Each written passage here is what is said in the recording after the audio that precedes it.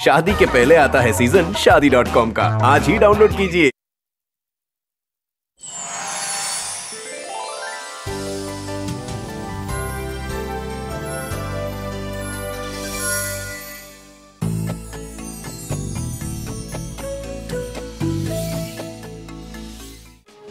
हल्के गहरे रंगों वाली सूरत की तस्वीर। सीरत से तो बन जाती है, बिगड़ी हुई तकदीर। किसकी है दुनिया में शोरत सूरत या सीरत? सूरत या सीरत? सूरत या सीरत? अच्छी सूरत, अच्छी सीरत दोनों है अनमोल। सोना चांदी इनका नहीं है मोल। अच्छी सूरत, अच्छी सीरत दोनों है अनमोल। हीरे मोती, सोना चांदी इनका नहीं है मोल। घर जन्नत है, किसकी बदौलत? सूरत या सीरत? सूरत या सीरत? सूरत या सीरत।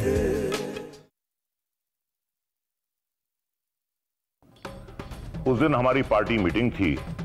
चीफ मिनिस्टर साहब के खिलाफ धरना देना तय करना था। इसलिए जल्दबाजी में आपसे बिना मिले चला आया इसकी माफ़ी चाहता हूँ। यह है हमारी बेटी फौजिया।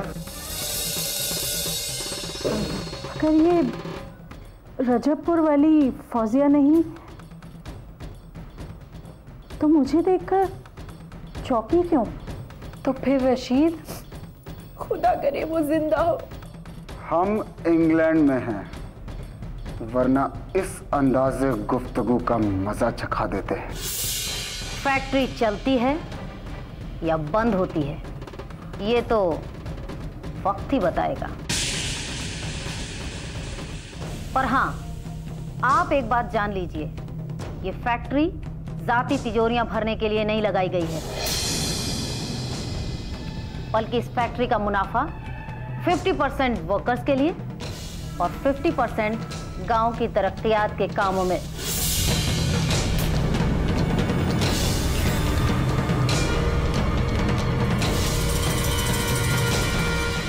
ऐसे भाषण हम रोज देते हैं। हमें भाषण देने की आदत है, सुनने की नहीं। इस पर गौर कीजिएगा। शायद इसी में आपकी भलाई है।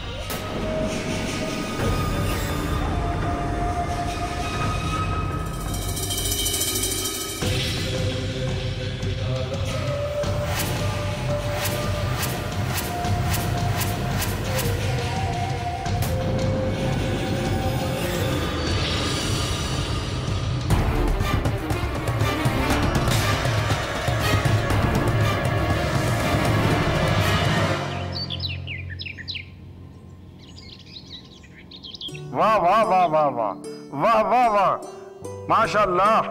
भाई, क्या खूब लिखा है। अरे, आओ आओ, बैठो बैठो, शेर सुनो। बैठो। बैठो बैठो। आँगन में लिए चाँद के टुकड़े की खड़ी। आँगन में लिए चाँद के टुकड़े को खड़ी, हाथों में झुलाती है, उसे गोद भरी। रह रह के हवा में जो टोका देती है, रह रह के हवा में जो टोका देती है, गूंज उठती है खिलखिलाते बच्चे की हँसी। भाई वाह, माँ की ममता और प्यार को किस दिलकश अंदाज में बयां किया है इस शायर ने? हिंदी शायरी में सूरदास जी का मुकाम बहुत बुलंद है। खास तौर से वात्सल्य रस में तो कोई कवि उनका हमसर नहीं। और उर्दू शायरी में रघुपति सहाय का भी कोई जवाब नहीं। उनकी एक रुबाई सुनाता हूँ। सुनो। किस प्यार से दे रही है मीठी मीठी लोरी हिलती है सिडोल बाह गोरी गोरी।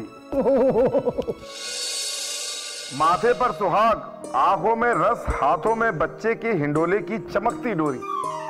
अरे भाई मैं भी क्या शायरी लेके बैठ गया। खैर ये बताओ क्या बात हुई खान बहादुर ऑफ़ इंग्लैंड से?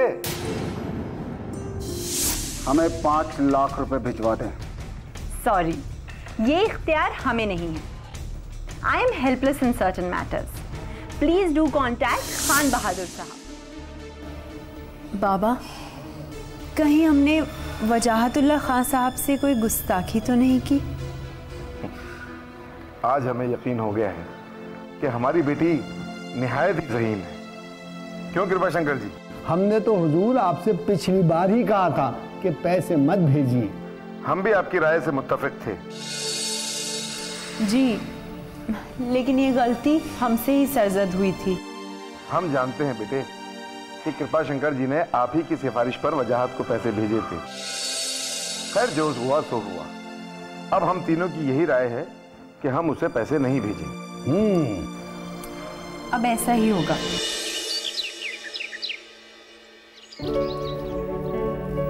मैडम जी खान साहब आए। ठीक है।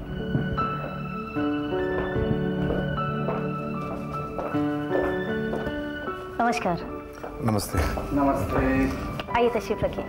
जी नहीं ये जगह हमने आपके लिए मुकर की है। आप बैठिए हम यहाँ बैठते हैं। शुक्रिया। अब आप हमें विधायक रामपाल के बारे में तफसील से बताइए कैसे मुलाकात की? एक्चुअली सर जानते हैं या नहीं जानते हैं? नौकरी तो आपको देनी है।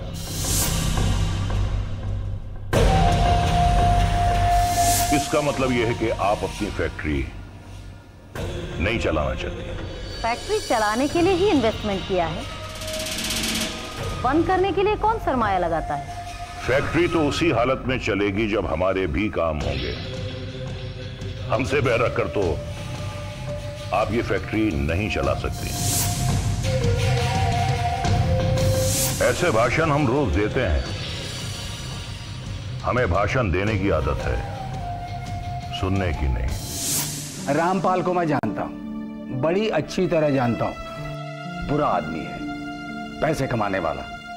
धांधली करके पार्टी के बल बूते पर इलेक्शन जीता है। और वोटरों को लुभाने के लिए शोर ज़्यादा करता है। देखिए जो कुछ भी आपने किया ठीक ही किया। अगर इस किस्म के लोगों से हम डर गए तो फैक्ट्री में सियासी लोगों का राज हो जाएगा। विधायक हमारे पास भी ज़रूर आएगा।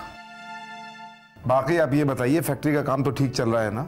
जी sir everything is okay no problem और सर वर्कर्स भी काफ़ी कोऑपरेट कर रहे हैं। यही तो हम चाहते हैं कि हमारे कारीगर बटाईदार किसान सब खुश रहें।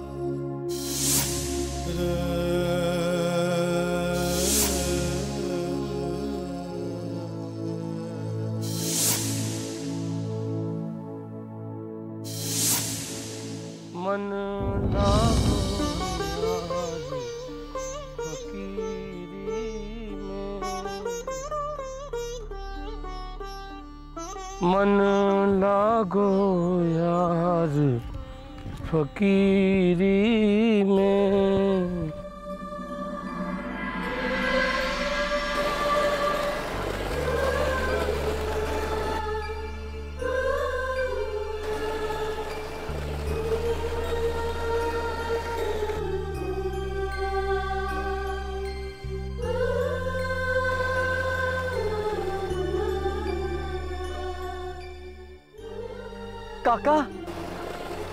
अरे ये कौन पुकार रहा है? काका। अरे सामने आओ ना भाई।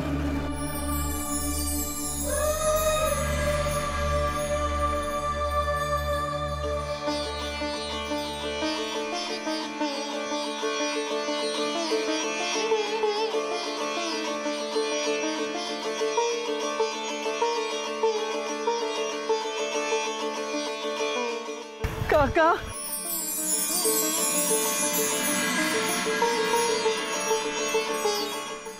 अल्लाह का करम है। रशीद तू ज़िंदा है? बैठ बैठ बेटा बैठ बैठ। बेटा तू है कहाँ? काका मैं बहुत दूर रहता हूँ। नोएडा में पढ़ रहा हूँ। किसी शहर का नाम है?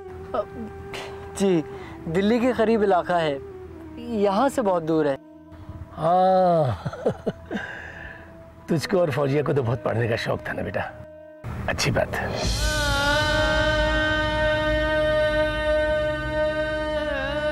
सोच क्या रहा है? वही फौजिया, वही जो तेरे साथ पढ़ती थी। अकेली रह गई बेचारी। सैलाब ने उसका पूरा घर तबाह कर दिया बेटा। उसी ने तो मेरी जान बचाई। और अल्लाह का करम खान साहब का। उन्हीं की वजह से मैं आज तेरे सामने बैठा हूँ बेटा। उन्होंने फौजिया को अपनी बेटी बना लिया है। अब वो कार में घूमती है।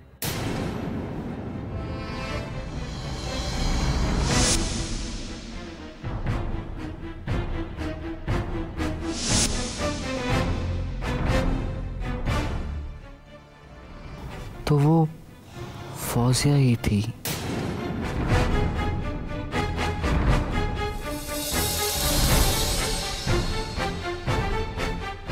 कहाँ खो गया बेटा?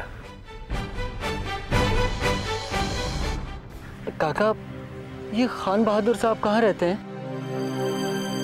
अरे रईस आदमी है बेटा खानदानी रईस। शहर में उनकी अपनी कोठी है। वो तो हमें भी नहीं आने दे रही थी कह रही थी कि क्या करोगे रजबपुर जाकर के? अब तुम्हारा वहाँ रह क्या गया है? रशीद? जी काका आप कह रहे थे तू सुन नहीं रहा था ना? मैं सुन रहा था काका। आप कह रहे थे ना खान बहादुर साहब ने आपको आने नहीं दिया। फिर क्या हुआ? वो कह रहे थे बेटा कि क्या करोगे रजबपुर जाकर के? और छत तक तो बची नहीं है तुम्हारे पास वहाँ रहने को। जब हमने रहने की बहुत जिद की तो उन्होंने हमको ये बनवा के दे दी।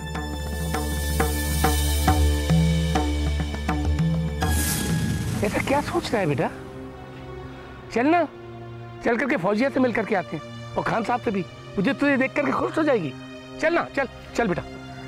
नहीं काका मैं रजबपुर देखने आया था। आपसे मिलने आया था यहाँ लोगों से मिला।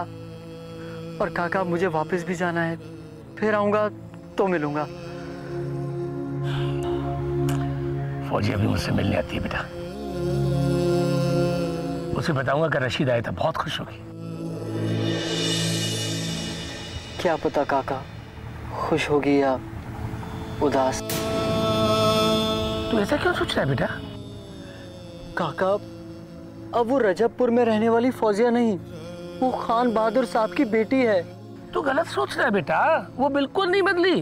वो बहुत खुश होगी। अच्छा एक काम कर। जब तू अगली बार आए ना तो मेरे साथ चलना। ठीक है? काका अब मैं चलता हूँ।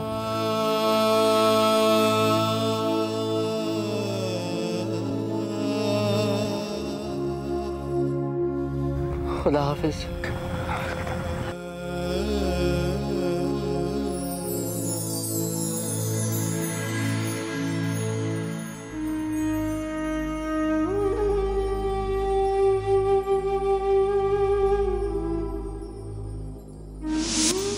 उन्होंने फौजिया को अपनी बेटी बना लिया है। अब वो कार में घूमती है।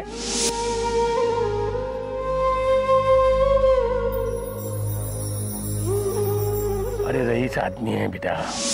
खानदानी रईस। शहर में उनकी अपनी कोठी है।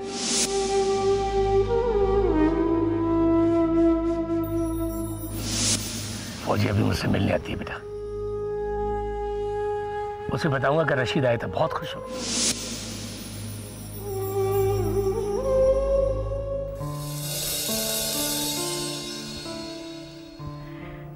अरे तूने तो कुछ खाया भी नहीं। दो दिन को आया है और मुँह बना के बैठा है। चल ले मैं गरम गरम पराठा तुझे खिलाती हूँ। मेरे हाथ से खा। अरे दीदी मैं खा लूँगा खुद आप परेशान ना हो। मिलाया जुम्मा काका से? कैसे हैं? दीदी वही पुराना फकीराना अंदाज है उनका। दूसरों के काम करना दूसरों को खुश देखकर खुश रहना। और हाँ दीदी अब तो उनका घर भी नया बन गया है। सरकार ने बनवाया होगा? नहीं।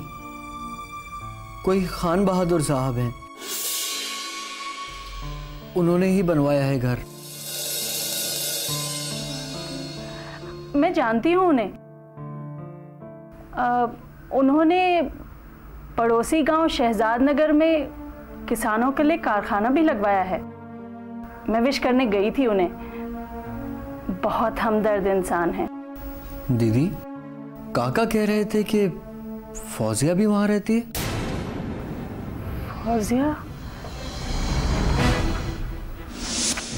यह है हमारी बेटी फौजिया।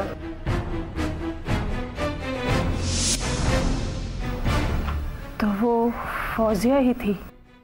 आप मिल चुकी है फौजिया से? सिर्फ़ देखा था। मैं खान बहादुर साहब के घर गई थी तो वहाँ दो लड़कियाँ आई थी कॉलेज से जिनमें से एक बिल्कुल फौजिया जैसी लग रही थी। तो वो फौजिया ही थी। काका ठीक कह रहे हैं। फौजिया उन्हीं के घर में रहती है। दीदी? आपने कभी तस्करा भी नहीं किया? मैं खुद कंफर्म नहीं थी। शक की बात थी ना? तो भी सुनकर सोच में पड़ जाता। और पढ़ाई से भी भटक जाता। और सोचता रहता फौजिया के बारे में जैसे अब सोच रहा है।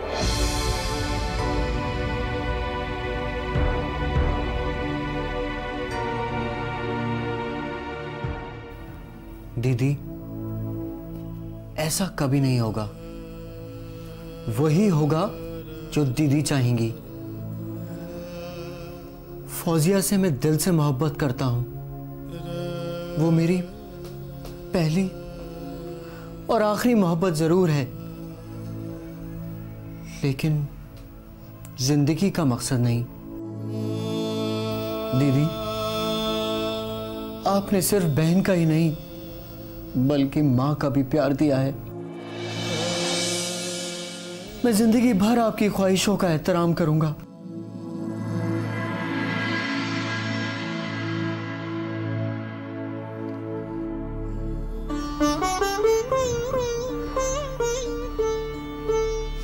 मुझे यकीन है रशीद, तुम ऐसा ही करोगे। मेरी भी ख्वाहिश है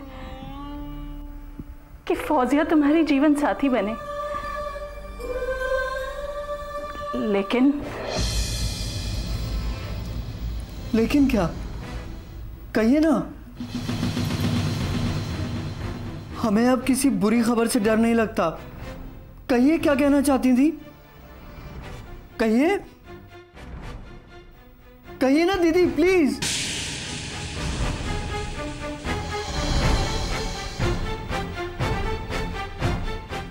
अब हालात बदल चुके हैं, रशीद।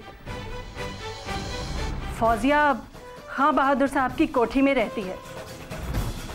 कार में घूमती है। वो अब खां बहादुर जफरुल्ला खां की बेटी है। तो क्या हुआ? अरे, हम भी शकुंतला दीदी के भाई हैं। किसी के आगे सर नहीं झुकाएँगे।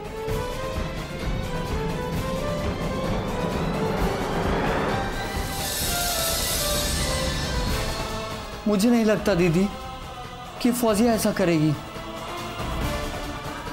और अगर वो अपनी हैसियत के मुताबिक या फिर for the sake of social status किसी कॉर्पोरेट फैमिली में शादी करना चाहती है तो कर ले।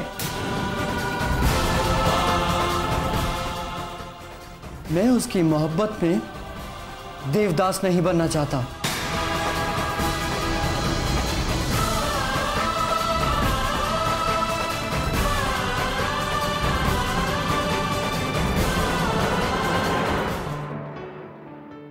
शबनम, काका के लिए जो कपड़े खरीदे थे वो भी लेके आओ। कितनी देर कर दी माशाल्लाह, ऐसा लग रहा है जैसे पिकनिक पर जा रहे हैं। कहीं तकरीब में आना जाना तो होता नहीं है। कपड़े भी हमें हसरत भरी निगाहों से देखते हैं। अच्छा कुछ कहते भी होंगे? बिल्कुल कहते हैं। रो रो कर कहते हैं कि हमें गारमेंट स्टोर में वापस रखवा आइए कोई कदरदान ले जाएगा तो हमारी इज़्ज़त अफजाई तो होगी। आपने तो हमें अलमारी में कैद कर दिया है। हम्म ज़रूर कहते होंगे। खूब बातें बनाने लगी। है खैर अच्छा किया पहन लिया। वैसे रजबपुर में कोई हीरो तो होगा नहीं। अरे क्या पता कोई मिल ही जाए। सुना है आजकल सड़कों पर गली कूचों में घूमते फिर रहे हैं। कोई ना कोई टकरा ही जाएगा। और वैसे आज बूढ़े मियाँ भी बाबा के साथ बाहर गए हैं। गाड़ी हम खुद चला कर लेकर जाएँगे। अरे, खाने का टिफ़िन कहाँ है? मैं लेकर आई। जल्दी।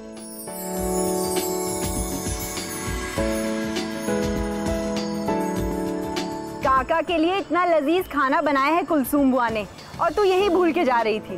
तू भी ना? चलो, बैठो।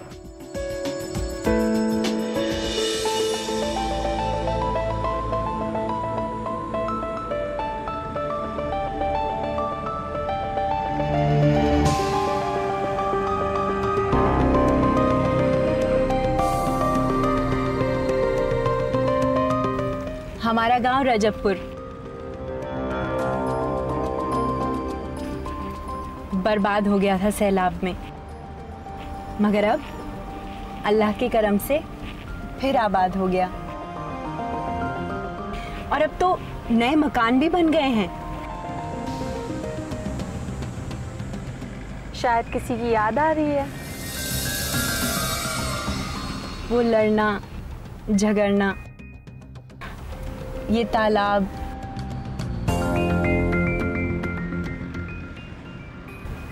खेत। उसके साथ साइकिल पर जाना। लेकिन आपा अब तो आप शहर वाली हो गई हैं। मोटर गाड़ी पर जा रही हैं वो भी खुद चलाकर। हाँ। खान बहादुर साहब यानी हमारे बाबा की मोहब्बत ने हमें बाँध लिया है। हमें गाड़ी दिलाई। अपनी बेटी बनाया, गाड़ी चलाना सिखाया। अब उन्हें अकेला पाकर छोड़कर जा भी तो नहीं सकती।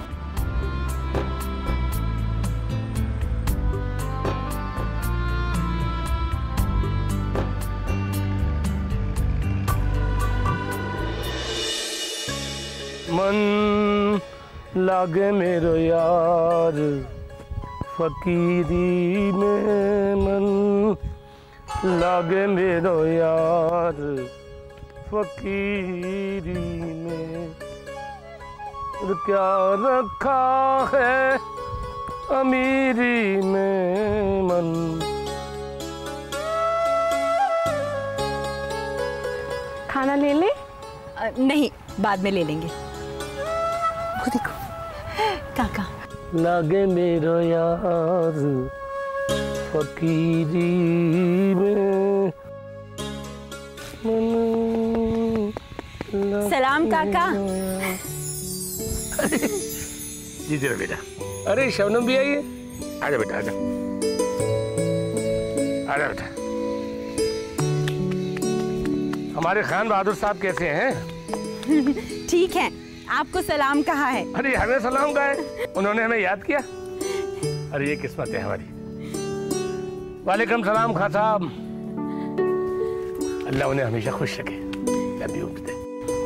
ये आप क्या बोल रहे थे काका? बेटा किस्म किस्म की सब्ज़ियाँ बो रहा हूँ। क्या करेंगे काका? इनका क्या बेचेंगे? नहीं बेटा मैं अपने खेत का अनाज जो है गरीबों में बांट देता हूँ। तो सब्ज़ियाँ भी बांट दूँगा। अरे हाँ बेटा। एक खुशखबरी देना तो मैं तुमको भूल ही गया। कल रशीद आया था।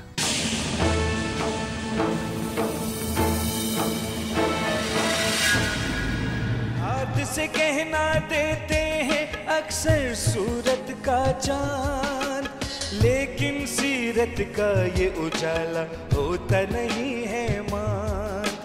कौन बढ़ाए दिल में इज़्ज़त इज़्ज़त सूरत या सीरत सूरत या सीरत सूरत या सीरत सूरत या सीरत सूरत या सीरत सूरत या सीरत हाय मॉम फिर से शॉपिंग